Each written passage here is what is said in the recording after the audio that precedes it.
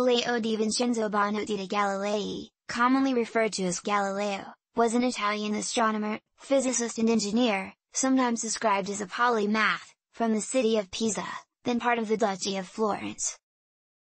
Language of mathematics taught in the sciences, the authority of thousands of opinions is not worth as much as one tiny spark of reason in an individual man. One must take care not to place oneself in the defense of error, for here a thousand Demosthenes and a thousand Aristotles would be left in the lurch by every mediocre wit who happened to hit upon the truth for himself. Therefore,